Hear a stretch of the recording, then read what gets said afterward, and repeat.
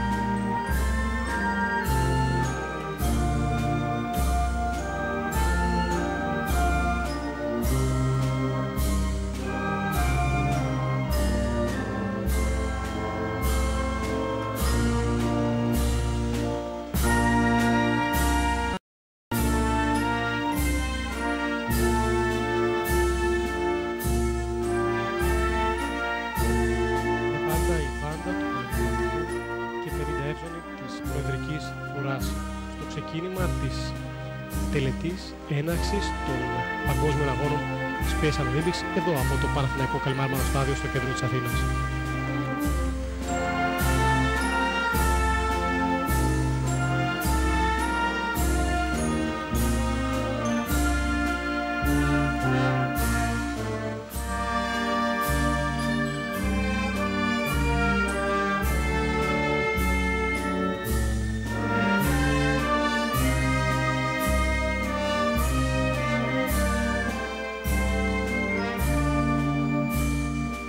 Thank you.